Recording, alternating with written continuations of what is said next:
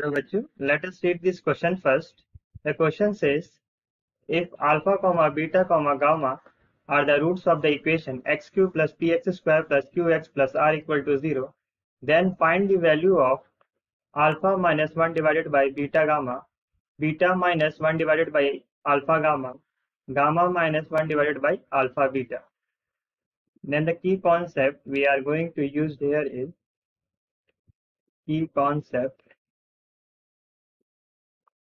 the concept is if the equation or the polynomial in the form of ax cube plus bx square plus cx plus d equal to 0 and x1 comma x2 comma x3 are the roots then the summation of the root that is x1 plus x2 plus x3 is equal to minus b by a and x1 x2 plus x2 x3 plus x3 x1 is equal to c by a and x1 x2 x3 is equal to d by a.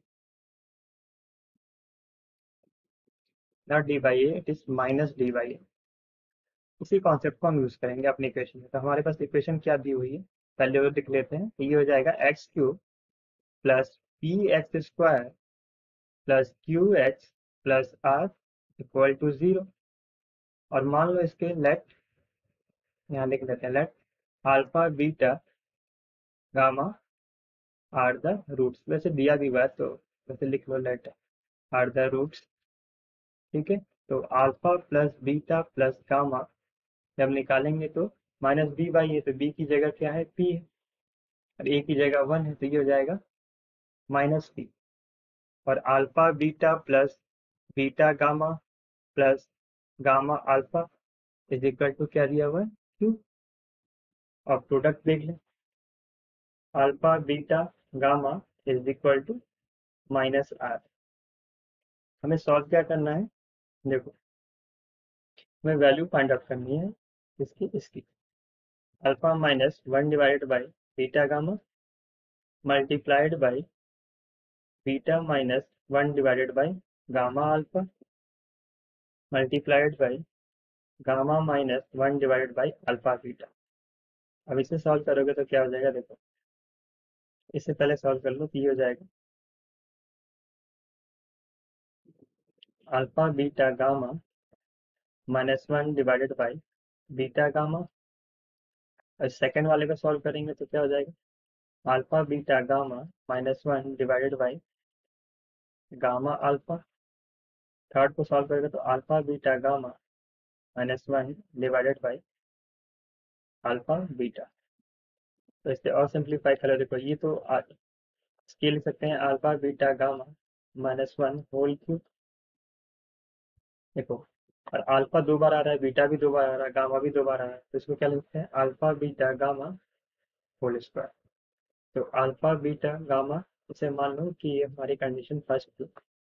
तो from first value put कर दो alpha beta gamma की। हो जाएगा।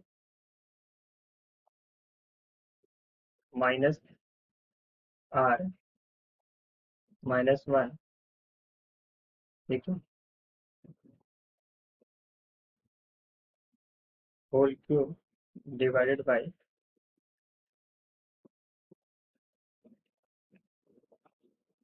yes, अच्छे से।